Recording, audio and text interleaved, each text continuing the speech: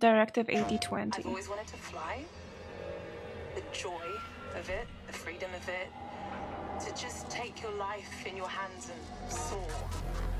I think that's in us all, isn't it? At least that's what my dad taught me.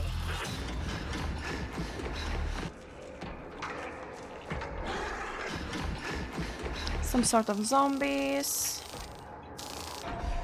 And the like space horror, but I'm gonna play this book probably.